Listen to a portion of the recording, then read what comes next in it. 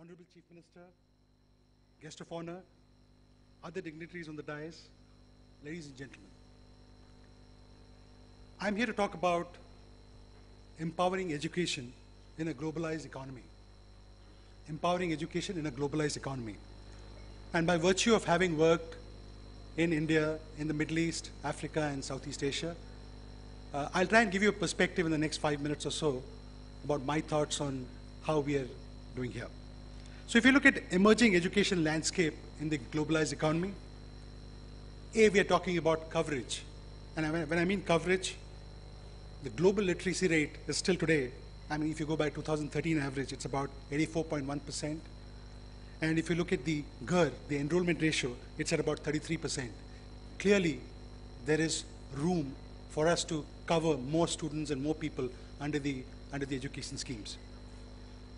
The second point I would like to make is about scalability, where we need to recruit today, for 2030, we need to recruit about 26 million school teachers to provide primary education to children. So 26 million school teachers by 2030. We have in India about 20 million higher education students as of today. Now what does all this mean? So you cover more area, you bring in more people, uh, under the education ambit, you scale the operations. But it also leads to too many people available and too few jobs. So unemployment today has to also got to be fixed. So when you're fixing on one side the supply and the demand also needs to be fixed. So therefore, I think I'm told, I was reading somewhere that for, for 370 odd peon positions, there were more than 23 lakh applications. And I believe a lot of them were PhDs. Look at the second aspect of uh, what we are grappling with today is in the area of automation replacing entry-level jobs. And you would have read in the, in the papers just a couple of weeks back when even the IT companies, which normally used to hire in hordes, are actually thinking about cutting down and in maybe three or five years down the line, some of the entry-level jobs in IT sector itself could possibly be replaced by automation. We are talking about employability. And I like you to focus on the word employability. It means employ ability. Employ ability is employability. We are today, if you look at uh, some of the developing countries, the employability quotient is about 20%, which means what we teach and what the industry requires in the form of skill sets or in the form of uh, uh, requirements is actually very, very low. So it is, we, need to, we need to improve the employability quotient as, as, as global entities. And why are we doing all this? Well, we are doing all this, we are doing it for a population which is completely different. We're talking about young generation, we are talking about technology-enabled trainers, we are talking about different forms and methods of teaching and training. So very clearly, what we are teaching today is what we think from our experiences in the past. And we are teaching today's students for the future, which itself is uncertain. So let me say this again. What we teach today is based on our experience, experiences in the past for the future, which itself is uncertain. So that is the kind of problem, that is the scale and magnitude of challenge that we face today. We, there's, there's, there's definitely a need to constantly transform the education, global education landscape. And I'll talk to you a bit before I finish my talk about what transnational higher education is all about. But closer home, there are a lot of opportunities. For example, India today, unlike other countries where the population is aging, in India, we don't seem to have a problem. In the near future, India is likely to become the skill sourcing hub for maybe the entire globe.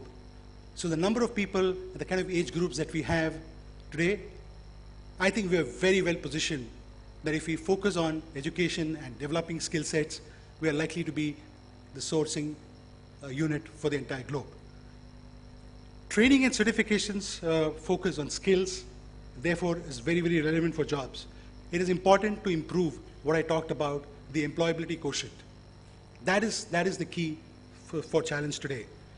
Technology, I won't talk too much about it because I know there are many people who will come and talk to you about technology challenges and how technology is one of the key enablers to education. Suffice it to say that uh, with, with education, um, education going more technology oriented, uh, a lot of this space will, will see a lot more people getting educated and a lot more people getting, uh, getting into this education bandwagon. Last but not the least is uh, in terms of, uh, uh, it is not just enough to get a degree. It is just not enough to get something under your belt. It is important today to continuously educate oneself. So even when you get a degree, midway through your career, end, end point through your career, at each point, it is important for you to reskill, retool, refresh your knowledge, because otherwise, in this changing world, it is, it is quite likely that some of us will get outdated. Having said that, uh, what are the key opportunities in the, in the globalized economy? And I did talk to you a bit about the aging of, golden, of global population. That's advantage India. As population outside of India, other countries become more old, the, the employable age, that brand, India is very well positioned. We can become the sourcing for all of the rest of the world. There is a need to increase both government and private funding in terms of education. And if you really look at the last three to four years, uh, the spend on, on education has pretty much remained stable as we, as we see. So therefore, I think, and I'm sure that uh, there are people talking about how we can improve or increase the kind of spend that education sector definitely needs. Uh, technology as an enabler is something very key, and I think we all of us need to ensure that technology, whether it's in primary education, secondary education, or even training or executive education, forms a big, big role. How can we build a system for, to, to get more educated and skilled talent? I think innovation in teaching is something that I'd like to touch upon today. And, and let me tell you a small incident, I mean, a small study that we did. We realized that, uh, you know, as a student, what are the different ways that a student would like to connect? Today, a student would like to see more of simulation, games. Otherwise, he would like to see videos. Otherwise, he'd like to listen to some audio. The last thing he likes is to sit in a classroom and be lectured using slides or a teacher talking to him directly. And if you see the teaching system today, it is exactly inverse of what the students want. So therefore, there is a need to bring in a different set, a different paradigm as far as the way we impart education and skill sets is, is really concerned. So I think that is, that is, that is, that to me is very, very critical, and that is how we need to connect to the youth and get away. I did talk to you a bit about the globalization models, what the world is doing. A couple of weeks back, I was in, uh, in Kuala Lumpur. I had the chance to go and visit a university there called XMU, Xiamen University of uh, China, but it's Xiamen University, Malaysia now there's an investment of 1.3 billion ringgits for a 150 acre land with a total floor space of about 470,000 square, square meters. 10,000 students capacity, offering foundation and undergraduate programs. The scale at which people are talking abroad is amazing. I also happen to run the, the university in, in, in Dubai, in Middle East. And while a lot of us are there, there's Manipal, there's BITS Pilani, there is uh, SP Jain, there's. The, the pace at which the Dubai government is creating zones for education and the amount of investment they are putting in into those places. And who are the students? 10,000 students, 10,000 enrollments are of Indians alone. So there are Indians who are also studying abroad who, who are getting the different kind of education. So I think it's important to take on board the fact that globalization of education is, has or is coming of age. And I think it's very important to, to realize that this is what maybe the future of education is all about. And it's important for all of us to embrace that and ensure that we are in sync with what is going to happen for the future of education.